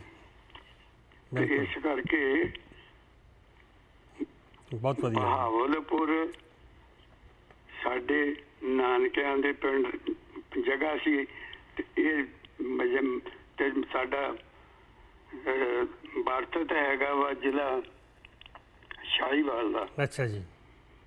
ਸਾਈਵਾਲ ਨਾਨਕੇ ਬਹਾਵਲਪੁਰ ਸੀਗੇ। ਜੀ ਜੀ ਜੀ ਚਲੋ। ਤੇ ਇਹ ਕੁਦਰਤ ਦੀ ਰਜਾ ਵਿੱਚ ਨਾ ਰਹਿਣ ਨਾਲ ਵੀ ਸਜ਼ਾ ਮਿਲਦੀ ਆ। ਮਿਲਦੀ ਹੈ ਜੀ ਬਿਲਕੁਲ। ਚੰਗਿਆਈਆਂ ਬੁਰਾਈਆਂ ਤੇ ਵਾਚੇ ਧਰਮ ਦੂਰ ਉਹ ਕਹਿੰਦੇ ਭਈ ਜੇ ਗੱਲੀ ਨਾ ਉਹ ਤੋਲ ਕੇ ਉਹਦਾ ਕੰਡਾ ਆਏ ਉਹ ਤੋਲ ਕੇ ਵੀ ਦਿਖਾ ਦਿੰਦਾ ਵੀ ਦੇਖ ਲੈ। ਬਿਲਕੁਲ ਜੀ ਬਿਲਕੁਲ। ਚਲੋ ਜੀ ਬਹੁਤ ਵਧੀਆ ਜੀ ਬਹੁਤ ਵਧੀਆ ਬਹੁਤ ਵਧੀਆ ਗੱਲਾਂ। ਬਹੁਤ ਧੰਨਵਾਦ ਤੁਹਾਡਾ। ਇੱਕ ਵਾਰੀ ਅਸੀਂ ਇੰਗਲੈਂਡ ਚਲੇ ਗਏ। ਆਪਾਂ ਜਾਨ ਸਾਹਿਬ ਬ੍ਰੇਕ ਲੈਣੀ ਪੈਣੀ ਜਾਂ ਬ੍ਰੇਕ ਲੈ ਲਈਏ ਜਾਂ ਆਪਾਂ ਫੋਨ ਕੱਟਣਾ ਚਾਹੁੰਦੇ ਤੁਸੀਂ? ਦੇਖ ਲਓ ਜੇ ਸਮਾਪਤੀ ਕਰ ਹਾਂ। ਤੁਸੀਂ ਜਿਵੇਂ ਠੀਕ ਲੱਗਦਾ ਤੁਹਾਨੂੰ। ਹੀ ਆ ਆਪਣੀਆਂ ਠੀਕ ਹੈ। ਚੱਲਦੀਆਂ ਰਹਿਣੀਆਂ ਫਿਰ ਠੀਕ ਹੈ ਸੰਗਤ ਜੀ। ਹੋਰ ਰਹਿ ਹਾਂਜੀ, ਜਾਂਦੀ ਠੀਕ ਹੈ। ਮੈਨੂੰ ਮ- ਮਹਿਸੂਸ ਹੁੰਦਾ ਜੋ ਸੰਗਤ ਮੇਰੇ। ਦਰਸ਼ਕ ਪਿਆਰੇ ਰਹਿ ਜਾਂਦੇ ਆ ਠੀਕ ਹੈ ਜੀ ਬਹੁਤ ਮੈਂ ਇਹਨਾਂ ਸ਼ਬਦਾਂ ਨਹੀਂ ਵੀ ਜਿੱਥੇ ਸ਼ਹਿਨशाह ਹਾਂ ਜਿੱਥੇ ਇੱਥੇ ਅਸੀਂ ਮਸ਼ਹੂਰ ਗੱਲਾਂ ਆਪ ਵਿਗਾੜ ਦਿੰਨੇ ਆ ਜੀ ਬਹੁਤ ਸਾਰੀਆਂ ਵਿਗਾੜੀਆਂ ਸੀ ਹੁਣ ਜਿੱਦਾਂ ਆਮ ਇੱਕ ਸ਼ਬਦ ਹੈਗਾ ਵੀ ਜੈ ਮਾਲਾ ਜੀ ਹੁਣ ਜੈ ਮਾਲਾ ਨੂੰ ਵਰਤਦੇ ਸਾਰੇ ਹੀ ਆਪਾਂ ਆ ਜੈ ਮਾਲਾ ਨੂੰ। ਜੀ। ਪਰ ਜੈ ਮਾਲਾ ਦਾ ਨਾਂ ਵਿਗਾੜ ਦਿੱਤਾ ਜੱਗੀ ਜੀ। ਜੀ। ਜੈ ਮਾਲਾ ਦਾ ਸਹੀ ਨਾਂ ਆ ਵਿਜੇ ਮਾ- ਵਿਜੇ ਮਾਲਾ ਵਿਜੇ ਮਾਲਾ ਅੱਛਾ ਜੀ। ਤੇ ਇਹ ਚੱਲੀ ਕਦੋਂ? ਜਦੋਂ ਸ੍ਰੀ ਰਾਮਚੰਦਰ ਨੇ ਸੀਤਾ ਨੂੰ ਜਿੱਤਿਆ ਸੀ ਉਹਦੇ ਆ, ਇੱਕ ਨੇ ਜਿੱਤਿਆ ਉਹਨੂੰ ਪਈ ਇਹ ਜੇਤੂ ਮਾਲਾ ਵਾ। ਤੇ ਇਹਦਾ ਅੱਜ ਅਸੀਂ ਵਾਵਾ ਕੱਢ ਦਿੱਤਾ ਤੇ ਜੈ ਮਾਲਾ ਜੈ ਵਿਜੇ ਕਰ ਦਿੱਤਾ। ਜੀ। ਚਲੋ ਮਿਹਰਬਾਨੀ ਜੀ ਉਹ ਬਹੁਤ। ਫਕੀਰ ਨੂੰ ਵੀ ਸੀਗਾ ਵੀ ਮੈਂ ਖਣੀ ਸਭ ਕੋ ਕੁਦਰਤ ਦੀ ਰਜਾ ਨੂੰ ਮੋੜੀ ਜਾਂਦਾ ਸੀ। ਜੀ। ਉਹਨੂੰ ਉਹਨਾਂ ਫਿਰ ਕਹਿਤਾ ਵੀ ਤੂੰ ਦੋਸ਼ੀ ਆ ਐਵੇਂ ਨਾ ਭੂਏ ਹੋਇਆ ਪਰ ਜੀ। ਮਾਫੀ ਮੰਗੀ ਚ- ਆਣ ਕੇ ਸ਼ਹਿਨशाह ਦਾ ਮਾਫੀ ਮੰਗ ਕੇ ਸ਼ਰਧਾਵਾਨ ਬਣ ਕੇ ਗੁਰੂ ਦਾ ਸਿੱਖ ਬਣਿਆ। ਜੀ। ਇਹਨੇ ਸ਼ਬਦਾਂ ਨਾਲ ਖਿਮਾ ਚਾਹੁੰਦਾ। ਸਭ ਦਰਸ਼ਕਾਂ ਨੂੰ ਗੁਰੂ ਗੁਰੂ ਕੀ ਫਤਿਹ ਅਰਜਾ ਜੀ ਵਾਹਿਗੁਰੂ ਜੀ ਕਾ ਖਾਲਸਾ ਵਾਹਿਗੁਰੂ ਜੀ ਕੀ ਫਤਿਹ। ਬਹੁਤ ਮਿਹਰਬਾਨੀ ਜਾਨ ਸਾਹਿਬ ਬਹੁਤ ਮਿਹਰਬਾਨੀ ਜੀ। ਨਾਲ ਨਾਲ ਬ੍ਰੇਕ ਲੈਣੇ ਬ੍ਰੇਕ ਕਾਫੀ ਅੱਗੇ ਲੰਗੀ ਬ੍ਰੇਕ ਤੋਂ ਬਾਅਦ ਫਿਰ ਆਪਾਂ ਛੋਟਾ ਜਿਹਾ ਕੋਈ ਵਿਸ਼ਾ ਰੱਖ ਕੇ ਤੁਹਾਡੀਆਂ ਕਾਲਾਂ ਲਵਾਂਗੇ। ਫਿਲਹਾਲ ਬ੍ਰੇਕ ਦੇਖਦੇ ਰਹੋ ਜਸ ਪੰਜਾਬੀ। ਵਿਸ਼ਾ ਮੇਰੇ ਖਿਆਲ ਹੁਣ ਰੱਖਣ ਦਾ ਸਮਾਂ ਨਹੀਂ ਹੈਗਾ। ਬ੍ਰੇਕ ਹਜੇ ਹੋਰ ਇੱਕ ਪਈ ਆ। ਤੇ ਜਨਰਲੀ ਗੱਲਾਂ ਬਾਤਾਂ ਕਰ ਲੈਣੇ ਜਿਹੜੀਆਂ ਦੋ ਤਿੰਨ ਕਾਲਾਂ ਹੈਗੀਆਂ ਆਈਆਂ ਹੋਈਆਂ। ਬਹੁਤ ਸਾਰੀਆਂ ਕਾਲਾਂ ਕੱਟ ਵੀ ਗਈਆਂ। ਸਤਿ ਸ਼੍ਰੀ ਅਕਾਲ ਜੀ ਆਉਨੇ ਹੋ ਮਾਸੀ ਜੀ। ਹਾਂਜੀ ਠੀਕ ਠਾਕ ਆ ਜਗਤਾਰ ਜੱਗੀ। ਹਾਂਜੀ। ਮੇਰਾ ਪੁੱਤ।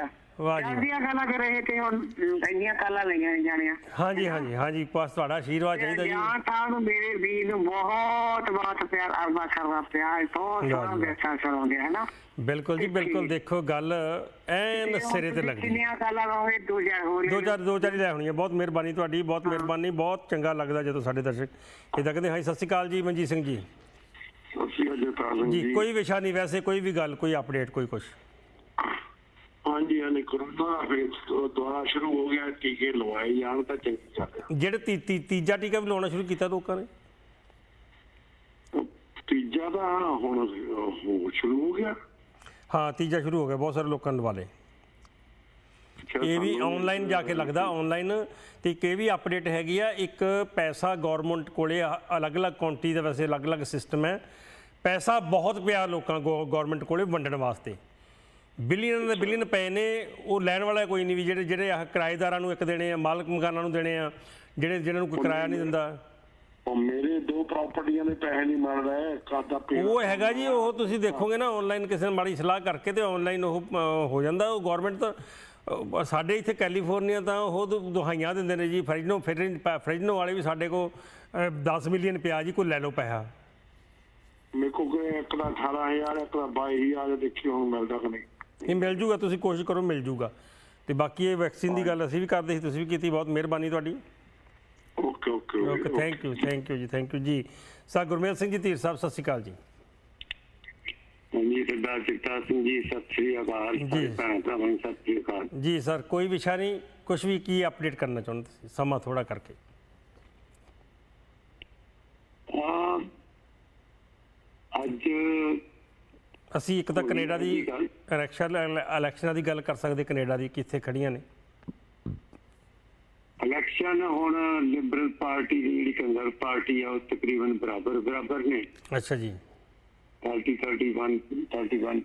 ਤੇ ਤੇ ਜਿਹੜੀ ਐਨਡੀਪੀ ਆ ਉਹ 20% ਤੇ ਚੱਲ ਰਹੀ ਹੈ। ਜੀ। ਬਾਕੀ ਦੂਸਰੀਆਂ ਪਾਰਟੀਆਂ ਨੇ ਕੋਈ 6% ਤੇ ਆ ਕੋਈ 4% ਤੇ ਆ। ਗ੍ਰੀਨ ਪਾਰਟੀ ਇੱਕ ਜਿਹੜੀ ਆਪਣੇ এনवायरमेंट ਦੀ ਗੱਲ ਕਰਦੀ ਹੈ 4% ਤੇ ਆ ਜਿਹੜੀ ਕਿਊਬਿਕ ਦੀ ਪਾਰਟੀ ਆ। ਅੱਜ ਉਹਨਾਂ ਦੀ ਫਰੈਂਚ ਡਿਬੇਟ ਸੀ ਤੇ ਕੱਲ ਨੂੰ ਇੰਗਲਿਸ਼ ਡਿਬੇਟ ਹੋਣੀ ਹੈ ਵਾਹ ਜੀ ਵਾਹ। ਤੇ ਅੱਛਾ ਧੀਰ ਸਾਹਿਬ ਥੋੜੀ ਪੰਜਾਬ ਦੀ ਵੀ ਗੱਲ ਕਰ ਲਈਏ ਪ੍ਰੋਗਰਾਮ ਖਤਮ ਹੋਣ ਤੋਂ ਪਹਿਲਾਂ ਵੀ ਪੰਜਾਬ ਦਾ ਸਿੱਧੂ ਸਾਹਿਬ ਦੀ ਤੇ ਭਗਵੰਤ ਮਾਨ ਦੀ ਚੁੱਪੀ ਕੀ ਰੰਗ ਲਿਆਊਗੀ? ਇਹ ਦੇਖੋ ਭਗਵੰਤ ਮਾਨ ਤਾਂ ਇਹ ਚਾਹੁੰਦਾ ਵੀ ਕੋਈ ਮੁੱਖ ਮੰਤਰੀ ਦਾ ਚਿਹਰਾ ਅਨਾਉਂਸ ਹੋਵੇ। ਹੂੰ ਇਹ ਕਹਿੰਦਾ ਉਹ ਇਹੀ ਹੈ ਨਹੀਂ। ਕਹਿੰਦਾ ਉਹ ਇਹੀ ਹੈ ਵੀ ਕੋਈ ਵੀ ਚਿਹਰਾ ਅਨਾਉਂਸ ਕਰੋ। ਪਰ ਅੰਦਰ ਖਾਤੇ ਜਿਹੜੀ ਗੱਲ ਹੈਗੀ ਆ ਉਹ ਅੰਦਰ ਖਾਤੇ ਇਹੀ ਹੈ ਵੀ ਭਗਵੰਤ ਮਾਨ ਨੂੰ ਹੀ ਅਨਾਉਂਸ ਕਰੋ। ਦੇਖੋ ਇਹ ਤਾਂ ਹੁਣ ਪਤਾ ਨਹੀਂ ਉਹਨਾਂ ਦੇ ਕੀ ਅੰਦਰ ਖਾਤੇ ਚੱਲ ਰਿਹਾ ਪਰ ਭਗਵੰਤ ਮਾਨ ਜੇ ਮੈਨੂੰ ਤਾਂ ਇਹ ਠੀਕ ਸੀਗਾ ਵੀ ਇਹ ਤਾਂ ਪ੍ਰਧਾਨ ਤਾਂ ਠੀਕ ਆ ਤੇ ਮੁੱਖ ਮੰਤਰੀ ਕੋਈ ਹੋਰ ਬਣਨਾ ਚਾਹੀਦਾ। ਨਹੀਂ ਇਹ ਸਾਰੇ ਕਹਿੰਦੇ ਨੇ ਤਾਂ ਕਾਰਨ ਕੀ ਹੈ? ਭਗਵੰਤ ਮਾਨ ਮੈਚੁਰ ਨਹੀਂ ਹੈ ਜਾਂ ਕੀ ਹੈ? ਭਗਵੰਤ ਮਾਨ ਦੇ ਵਿੱਚ ਲੋਕੀ ਅਜੇ ਹੁਣ ਉਹ- ਉਹਨਾਂ ਜ਼ਿਆਦਾ ਜਿੱਦਾਂ ਪਹਿਲਾਂ ਦੇਖੋ ਨਾ ਆਮ ਆਦਮੀ ਪਾਰਟੀ ਪਾਰਟੀ ਦੀ ਚੜ੍ਹ ਸੀ ਉਹ ਹੁਣ ਐਨੀ ਹੈ ਨਹੀਂ ਗੀ ਹਾਂ। ਕਿਉਂਕਿ ਇੱਕ ਤਾਂ ਭਗਵੰਤ ਮਾਨ ਨੇ ਜਿਹੜੇ ਇਹ ਆਪਣੇ ਨਾਲੋਂ ਬੰਦੇ ਸ਼ੁਰੂਆਤ ਤੇ ਸੁੱਚਾ ਸਿੰਘ ਛੋਟੇਪੁਰ ਬੰਦੇ ਨਹੀਂ ਆਉਂਦੇ। ਬਾਕੀ ਤੇ ਆਪਣੇ ਡਾਕਟਰ ਧਰਮਵੀਰ ਤੇ ਹੋਰ ਵੀ ਕਿੰਨੇ ਸਾਰੇ ਜਿਹੜੇ ਬੰਦੇ ਸ਼ੁਰੂਆਤ ਤੇ ਚੰਗੇ ਚੰਗੇ ਬੰਦੇ ਬਾਹਰ ਨਿਕਲ ਗਏ ਇਹ ਕੋਈ ਚੰਗਾ ਕੰਮ ਨਹੀਂ ਕੀਤਾ ਲੋਕਾਂ ਲੋਕਾਂ ਦਾ ਵਿਸ਼ਵਾਸ ਕਰ ਗਿਆ। ਜੀ ਚਲੋ ਇਹ ਕਿਸੇ ਹੋਰ ਨੂੰ ਅਨਾਉਂਸ ਕਰਨ ਉਹਦੇ ਨਾਲ ਫਿਰ ਵੀ ਪਾਰਟੀ ਅੱਗੇ ਤੁਰ ਸਕਦੀ ਹੈ। ਜੀ ਚਲੋ। ਬਾਕੀ ਜਿਹੜੀ ਆ ਕਾਂਗਰਸ ਪਾਰਟੀ ਦੇ ਜਿਹੜਾ ਅੰਦਰੋਂ ਕਲੇਸ਼ ਚੱਲਦਾ ਮੈਨੂੰ ਤਾਂ ਲੱਗਦਾ ਵੀ ਇਹ ਨਵਜੋਤ ਸਿੰਘ ਸਿੱਧੂ ਲਾਗੇ ਜਾ ਕੇ ਕੋਈ ਨਾ ਕੋਈ ਇਹ ਕੁਛ ਨਾ ਕੁਛ ਕਰੂਗਾ ਕਿਉਂਕਿ ਅਜੇ 4-5 ਮਹੀਨੇ 5 ਮਹੀਨੇ ਪਏ ਨੇ ਨਹੀਂ ਲਾਗੇ ਜਾ ਕੇ ਕੁਛ ਨਾ ਕੁਛ ਕਰੂਗੇ ਤੇ ਉਧਰੋਂ ਕੈਪਟਨ ਸਾਹਿਬ ਵੀ ਤਾਂ ਚੱਕੀ ਫਿਰਦੇ ਨੇ ਨਾ ਖੁੰਡਾ। ਚਲੋ ਦੇਖਦੇ ਹਾਂ ਜੀ ਵੇਟ ਹੀ ਕਰਦੇ ਹਾਂ ਵੇਟ ਹੀ ਕਰਦੇ। ਬਹੁਤ ਮਿਹਰਬਾਨੀ ਤੁਹਾਡੀ ਧੀਰ ਸਾਹਿਬ। ਪਰ ਇਹਨਾਂ ਦੀ ਆਪਸ ਵਿੱਚ ਬਣਨੀ ਨਹੀਂ ਜੀ ਇਹ ਤੁਸੀਂ ਕਹਿੰਦੇ ਨਹੀਂ ਬੰਨੀ ਨਹੀਂ। ਔਰ ਇਹਦਾ ਨੁਕਸਾਨ ਦੋਨਾਂ ਦਾ ਵਿਚਾਰਾਂ ਦਾ ਬਹੁਤ ਵੱਡਾ ਫ਼ਰਕ ਹੈ ਇਹਨਾਂ ਦਾ। ਇਹਦਾ ਦੇਖੋ ਜੀ ਨੁਕਸਾਨ ਪਾਰਟ ਜਿਹੜਾ ਇਹਨਾਂ ਦਾ ਆਪਦਾ ਹੋਣਾ ਹੋਣਾ ਬਾਅਦ ਦੀ ਗੱਲ ਪੰਜਾਬ ਦਾ ਬੜਾ ਵੱਡਾ ਨੁਕਸਾਨ ਹੈ। ਹਾਂਜੀ ਮਿਹਰਬਾਨੀ। ਹੋਣੀ ਹੈ, ਸਾ- ਸਾਹਮਣੇ ਦਿਸਦਾ ਮਿਹਰਬਾਨੀ ਜੀ ਬਹੁਤ ਮਿਹਰਬਾਨੀ। ਹਾਂਜੀ ਓਕੇ ਓਕੇ ਓਕੇ ਜੀ ਨਾਲ ਨਾਲ ਬ੍ਰੇਕ ਲੈ ਲੈਣੀ ਆ ਬ੍ਰੇਕ ਤੋਂ ਬਾਅਦ ਸਮਾਂ ਬਚਿਆ ਤੇ ਫਿਰ ਕਾਲਾਂ ਵੀ ਲਵਾਂਗੇ ਤੇ ਅਦਰਵਾਈਜ਼ ਫਿਲਹਾਲ ਦੇਖਦੇ ਰਹੋ ਜਸ ਪੰਜਾਬੀ ਮਿਲਦੇ ਆ ਬ੍ਰੇਕ ਤੋਂ ਬਾਅਦ। ਆ ਪ੍ਰੋਗਰਾਮ ਦਾ ਸਮਾਂ ਖਤਮ ਹੈ ਜੀ। ਉਮੀਦ ਕਰਦਾ ਅੱਜ ਮੈਂ ਵਿਸ਼ਾ ਵੈਸੇ ਲਿਆਇਆ ਸੀ ਬਹੁਤ ਵਧੀਆ। ਵਿਸ਼ਾ ਉਹ ਸਾਨੂੰ ਮਿਲਿਆ ਵੀ ਸਾਨੂੰ ਤੁਹਾਡੇ ਵਿੱਚੋਂ ਹੀ ਸੀ। ਸਾਨੂੰ ਕਾਫੀ ਫੋਨ ਆਏ ਸੀਗੇ ਉਹ ਰੱਖਾਂਗੇ ਫਿਰ ਕਿਸੇ ਦਿਨ। ਫੋਨ ਇਹ ਮੈਂ ਸ਼ੇਅਰ ਕਰਨਾ ਤੁਹਾਡੇ ਨਾਲ। ਤੁਸੀਂ ਇਹ ਅਮ, ਚੰਗਾ ਲੱਗਿਆ। ਵੈਸੇ ਮੈਨੂੰ ਤਾਂ ਲੱਗਦਾ ਵੀ ਮੈਂ ਰੱਖਾਂ ਕਿ ਨਾ ਰੱਖਾਂ ਇਹ ਵੀ ਸੋਚੀ ਜਾਂਦਾ ਸੀ। ਵਿਸ਼ਾ ਇਸ ਸੀ ਸਾਨੂੰ ਲੇਡੀਜ਼ ਦੇ ਫੋਨ ਆ ਰਹੇ ਨੇ ਬਹੁਤ ਮੇਰੇ ਸੈੱਲ ਦੇ ਉੱਪਰ ਸਾਡੇ ਇੱਥੇ ਕਿ ਜ- ਵੀ ਹਾ- ਸਾਰੇ ਨਹੀਂ ਇੱਕੋ ਰਸਤੇ ਅਸੀਂ ਕੱਢਦੇ ਹੁੰਦੇ। ਕੁਛ ਇੱਕ ਬੰਦੇ ਮੰਟੀਕੇ ਤੋਂ ਸਾਨੂੰ ਫੋਨ ਆਇਆ। ਮੰਟੀਕੇ ਕਹਿੰਦੇ ਵੀ ਤੁਸੀਂ ਟੀਵੀ ਤੇ ਬੇਨਤੀ ਕਰਿਓ ਵੀ ਇਦਾਂ ਨਾ ਕਰਨ ਜਿਹੜੇ ਬੰਦੇ ਹੈਗੇ ਨੇ। ਮੰਟੀਕੇ ਕਹਿੰਦੇ ਅਸੀਂ ਪਾਰਕ ਦੇ ਵਿੱਚ ਮੰਟੀਕਾ ਸਾਡੇ ਸਟੂਡੈਂਟ ਨੇੜੇ ਪੈਂਦਾ ਮੰਟੀਕੇ ਪਾਰਕ ਦੇ ਵਿੱਚ ਕਹਿੰਦੀਆਂ ਅਸੀਂ ਘੁੰਮਣ ਜਾਂਦੀਆਂ ਜਦੋਂ ਸ਼ਾਮੀ। ਲੇਡੀਜ਼ ਕੁੜੀਆਂ ਵੀ ਨਾਲ ਹੁੰਦੀਆਂ, ਬੱਚੇ ਵੀ ਹੁੰਦੇ ਨੇ। ਤੇ ਪੰਜਾਬੀ ਮੁੰਡੇ ਜਾਂ ਪੰਜਾਬੀ ਬੰਦੇ ਗੱਡੀਆਂ ਦੇ ਵਿੱਚ ਮਗਰ ਜਿਵੇਂ ਇੰਡੀਆ 'ਚ ਛੇੜਦੇ ਹੁੰਦੇ ਕੁੜੀਆਂ ਨੂੰ, ਇੰਡੀਆ ਵਾਲੇ ਹਿਸਾਬ ਨਾਲ ਇੱਧਰ ਵੀ ਮਗਰ ਗੱਡੀਆਂ ਲਾ ਕੇ ਹੋਰ ਤਰ੍ਹਾਂ ਦੇਖੀ ਜਾਣਾ ਜਿਵੇਂ ਮਤਲਬ ਝਾਕ ਕੇ ਬਟਰ ਬਟਰ ਤੇ ਦੇਖੀ ਜਾਣਾ ਤੇ ਜਾਂ ਇਹੋ ਜਿਹਾ, ਜਾਂ ਮਤਲਬ ਕਮੈਂਟ ਇਹੋ ਜਿਹਾ ਕਰੀ ਜਾਣੇ, ਕਹਿੰਦੇ ਵੀ ਇਹ ਤੁਸੀਂ ਬੇਨਤੀ ਕਰੋ ਟੀਵੀ ਤੇ ਵੀ ਸਾਰੇ ਸਾਂਝੀਆਂ ਧੀਆਂ ਭੈਣਾਂ ਹੁੰਦੀਆਂ ਵੀ ਤੁਸੀਂ ਇਹੋ ਜਿਹਾ ਕੰਮ ਨਾ ਕਰੋ। ਇਹ ਚੀਜ਼ ਵਿਸ਼ਾ ਫਿਰ ਰੱਖਾਂਗੇ। ਈਵਨ ਗੁਰੂ, ਧਾਰਮਿਕ ਸਥਾਨਾਂ ਤੇ ਵੀ ਈਵਨ ਗੁਰੂ ਘਰਾਂ ਦੇ ਵਿੱਚ ਵੀ ਸਾਨੂੰ ਕਈ ਵਾਰ ਲੇਡੀਜ਼ ਕਹਿੰਦੀਆਂ ਨੇ ਵੀ ਬੰਦੇ ਕਈ ਐਸੇ ਆਉਂਦੇ ਨੇ, ਉਹ ਲੱਗਦਾ ਵੀ ਘਰੋਂ ਆਉਂਦੇ ਹੀ ਐਸੇ ਕੰਮ ਨੇ ਵੀ ਜਨਾਨੀਆਂ ਨੂੰ ਦੇਖਣ ਵਾਸਤੇ। ਦੇਖੀ ਜਾਣਾ ਦੇਖੀ ਜਾਣਾ, ਹੋਰ ਹੀ ਤਰ੍ਹਾਂ ਬੜਾ ਭੈੜਾ ਲੱਗਦਾ। ਸੋ ਅਸੀਂ ਅੱਜ ਮੈਂ ਵੈਸੇ ਬੇਨਤੀ ਕਰਦਾ ਤਾਂ ਤੁਹਾਡੇ ਵਿਚਾਰ ਜਿਹੜੇ ਆ ਫੇਰ ਲੈ ਲੂੰਗਾ ਵੀ ਜਿਹਨਾਂ ਨੂੰ ਇਹੋ ਜਿਹੀ ਆਦਤ ਹੈਗੀ ਹੈ ਭਾਈ, ਉਹ ਆਪਣੀ ਆਦਤ ਇਹ ਬਦਲੋ। ਨਹੀਂ ਚੰਗਾ ਲੱਗਦਾ। ਜਿਹੜਾ ਬੰਦਾ ਖੜਾ, ਉਹਨੂੰ ਇਉਂ ਲੱਗਦਾ ਹੁੰਦਾ ਵੀ ਮੈਨੂੰ ਕਿਹੜਾ ਕੋਈ ਦੇਖ ਰਿਹਾ। ਤੋਂ ਪਤਾ ਲੱਗ ਜਾਂਦਾ ਤੁਹਾਡੀ ਦੁੱਖ ਤੋਂ, ਜਦੋਂ ਕਿ ਇਸ ਤਰ੍ਹਾਂ ਦੇਖਦਾ ਕਿਸੇ ਨੂੰ। ਸੋ ਇਹ ਬੇਨਤੀ ਮੈਂ ਅੱਜ ਕਰਨਾ ਤੇ ਵਿਸ਼ਾ ਆਪਾਂ ਕਿਸੇ ਦਿਨ ਫੇਰ ਰੱਖ ਲਾਂਗੇ। ਫਿਲਹਾਲ ਉਮੀਦ ਕਰਦਾ ਪ੍ਰੋਗਰਾਮ ਵਧੀਆ ਲੱਗਿਆ ਹੋਊਗਾ। ਈਮੇਲ ਕਰ ਸਕਦੇ ਹੋ ਕਿਸੇ ਵੀ ਗੱਲਬਾਤ ਲਈ। jaggi@justbroadcasting.com ਜਾਂ ਫਿਰ info@justbroadcasting.com ਫੇਸਬੁੱਕ ਟਵਿੱਟਰ WhatsApp ਮੇਰਾ ਸੈੱਲ ਨੰਬਰ 2094553 ਵਾਟ ਕਿਤੇ ਵੀ ਸੰਪਰਕ ਕਰ ਸਕਦੇ ਹੋ। ਅਖੀਰ ਦੇ ਵਿੱਚ ਸਭ ਨੂੰ ਪਿਆਰ ਭਰੀ ਸਤਿ ਸ੍ਰੀ ਅਕਾਲ। ਖੁਸ਼ ਰਹੋ, ਖੁਸ਼ ਰੱਖੋ, ਰੱਬ ਰੱਖਾ। ਜੀਵੇ ਪੰਜਾਬ, ਜੀਵੇ ਪੰਜਾਬੀ। ਨਾਨਕ ਨਾਮ ਚੜ੍ਹਦੀ ਕਲਾ ਤੇਰੇ ਪਾਣੀ ਸਰਬਤ ਦਾ ਭਲਾ।